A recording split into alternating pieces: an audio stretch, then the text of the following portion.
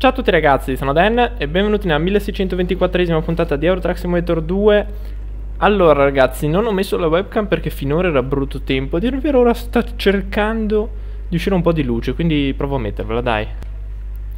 Ok, messa? Mm, Un po' scura, eh.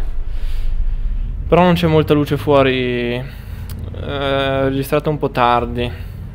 5 e mezza, di solito registro circa due ore prima allora ragazzi, cosa parliamo oggi? Dovrebbe essere martedì.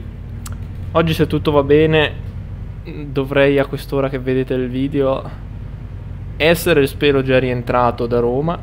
Ho un viaggettino a Roma Questo video come al solito vi ho registrato sabato. Ho un viaggettino a Roma In coppia con, con un mio collega. Oltretutto con questo camion Non io, il mio collega. Ehm Niente, quindi spero di essere già a casa sinceramente Perché sono partito lunedì a luna e, e quindi spero di essere a casa Allora, novità, cosa vi dico? Cosa vi dico? Boh, teoricamente venerdì, per voi che vedete il video, quindi il 15 aprile Se lo state guardando anni dopo, perché capita della gente a volte che guarda il video anni dopo mi dovrebbe arrivare il mio camion semi-definitivo perché mi durerà poco. eh, mi verrebbe da dire per fortuna mi durerà poco, un camion a noleggio. Dovrebbe essere anche questo un DAF. E nella realtà ovviamente parlo. Io vi dico così e non vi posso dire altro, però... Eh, che sarà, diciamo, il mio abbastanza fisso per eh, qualche mese. Quindi mm, questo qua adesso lo, lo sto usando ancora l'ultima settimana, che è questa. Poi appunto venerdì, che poi non so quando lo userò, se mi capiterà di usarlo già venerdì, non credo. Se sabato, poi lunedì. No, lunedì no perché sarebbe Pasqua, martedì, che anche lì martedì. Eh, venerdì di nuovo c'è il fermo alle 2 mi sembra.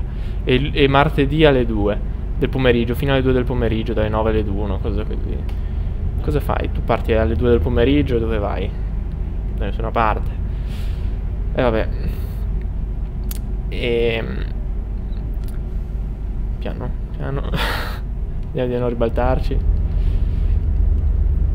Per quanto riguarda video veri, che mi chiedete sempre, io eh, appena possibile, cioè appena possibile, vorrei farveli a dire il vero volevo provare a farne già uno una giornata, ma poi diciamo che è stata una giornata un po', un po grigia perché um, è cominciata che dovevo andare in un posto, sono arrivato lì, invece quello dove dovevo andare, dovevo andare in un porto, in realtà dovevo andare in un altro porto a una cinquantina di chilometri di distanza, o forse 50 chilometri, no comunque in un altro porto, sempre in Liguria, però in un altro porto.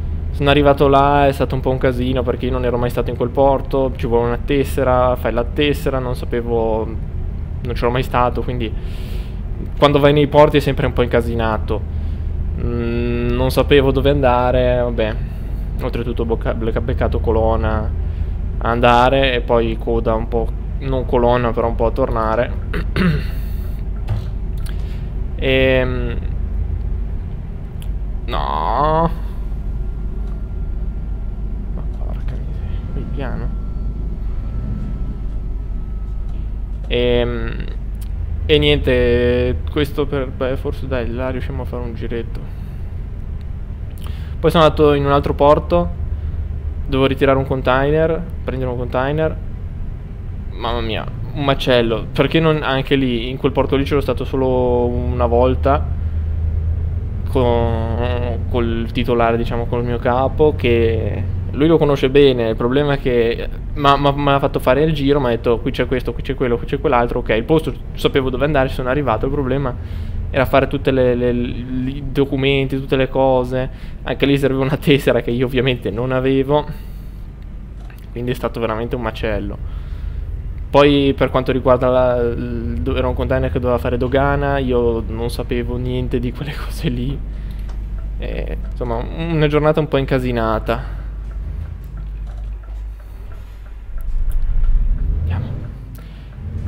E sta di fatto che per prendere quel container sono stato lì dalla mattina, da mezzogiorno, circa mezzogiorno fino alle 5 erano. Veramente. Eh. Un casino, un casino, un casino. Infatti i container mi hanno fatto subito una brutta impressione, ho detto spero di non farne più. Poi, mm, pian piano facendoli si impara. Credo di qua si scrivessero i nomi, no? M40, scrivono tutti i numeri di autostrada, che niente. Vabbè. Facendoli si impara, sicuro. Già adesso ne so molto, molto di più di prima, perlomeno. Non ero mai entrato in un porto, non sapevo com come si fa tutto, non sapevo. Perché serve da fare la, la tessera, vai lì ci sono degli uffici, poi non, cioè, non c'ero mai stato, non sapevo niente. Comunque mi, mi ci sono un attimino girato Ora poi prossime volte dovrebbe già essere meglio. E peraltro basta. Quella lì era la giornata che ma quasi quasi dovrebbe essere una giornatina tranquilla, quasi quasi mi piacerebbe pensare mi è, mi è balenata l'idea di fare un video, va già bene che non l'ho fatto. Perché E niente. Altro poi cosa vi racconto? Che comunque questi giorni, cioè questi giorni, già, mi è già successo un paio di settimane fa, che parlavo con un... Ehm, con una che sinceramente non so che posizione ricopra, però all'interno di una... diciamo questa ditta qui che tra le altre cose come sempre per quanto riguarda Porto ha anche un, una sezione di trasporto, fa autotrasporto, container, sempre nei dintorni di Genova e a Genova, che poi posso anche dirvelo perché non penso sia segreti. È gruppo Spinelli, quindi Spinelli Trasporti, insomma, che mi diceva, questa qui penso che sia qualcuna mezza abbastanza importante perché l'ho beccata me mentre caricavo lui al loro, al loro piazzale, al loro termine, insomma eh, girava con l'Audi, eh, col SUV dell'Audi, non mi ricordo se fosse un Q3 o un Q5, cosa fosse. Ma poi la ve vedevi vestita e poi se mi ha detto così non penso sia l'ultima delle impiegate, cioè sicuramente non era una delle impiegate. Mi ha detto ma... Mm, eh, mi ha chiesto se ero nuovo a lavorare per, per il mio capo perché si vede che lo conosce. E mi fa, eh anche noi stiamo cercando... Conosci mica dei ragazzi giovani eh, anche senza patente, eh, che gliela facciamo prendere noi, perché mi, mi ha detto hanno 40 macchine, 40 camion fermi, che hanno preso 40 camion nuovi e sono fermi perché non hanno gli autisti. Quindi, eh, se, se, cercate lavoro, anche senza la patente, ha detto che ve la fanno prendere loro, e che non è poco, eh. Non, non è poco. Qualcuno che ti trova che ti dice, eh, ti faccio prendere la patente io sapete che... Ma comunque adesso, per quel poco che sto girando io, ne senti ovunque vai, ne senti che cercano, eh. E vabbè. Ovunque vai... Ora ce n'è un'altra che cerca veramente tantissimo, però non... Di questa qui che vi ho appena detto non ne so niente. Quest'altra non, non ne ho sentito parlare benissimo. Quindi di, di, di conseguenza neanche la nomino. Non perché, ma perché ho detto che non ne voglio sentire parlare bene, poi magari la nomino, evitiamo. E comunque un sacco adesso stanno cercando sempre.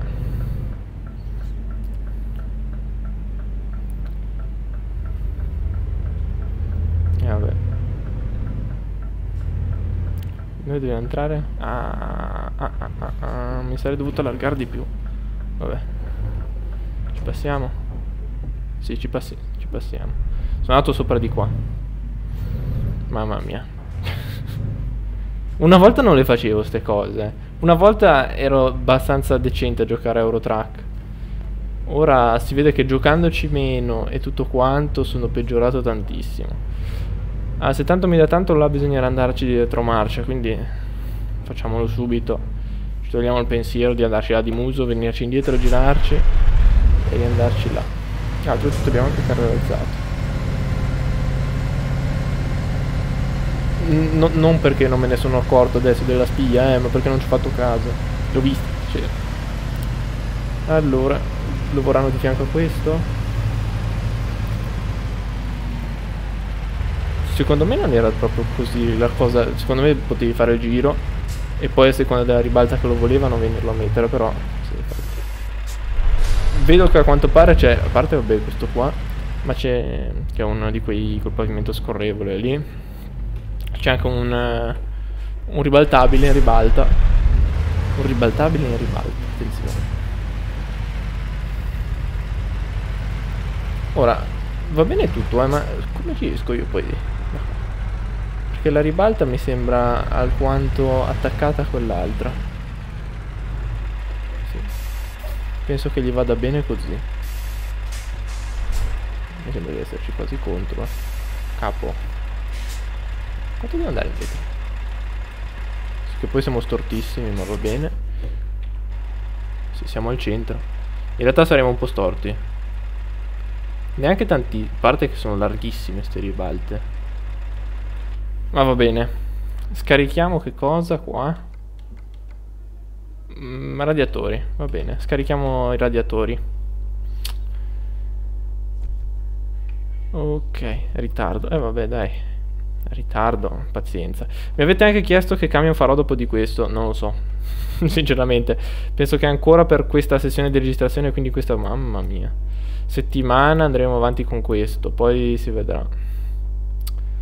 Sinceramente non so dove andare. Eh, in Svezia mi piacerebbe veramente tanto andarci. È da tanto che non ci andiamo. Così andiamo in Svezia. Cavolo però. Ma sì, ma che ce frega. Andiamo in Svezia. Carico leggero. Ci danno 50 euro a chilometro. Attenzione signore e signore. 50 euro a chilometro. Cioè, in realtà ti dicessero che ti danno 50 euro a chilometro. Vabbè. È una cifra esorbitante. Penso che in tutto l'autotrasporto di cose semi normali difficilmente superi l'1,50. Poi se vabbè, ma magari fai cose... Qua c'è l'obbligo di andare di là cose tanto specifiche, trasporti eccezionali, non lo so. A parte che, mamma mia, che, che macello che faccio. Ma qui passa dentro un'altra ditta.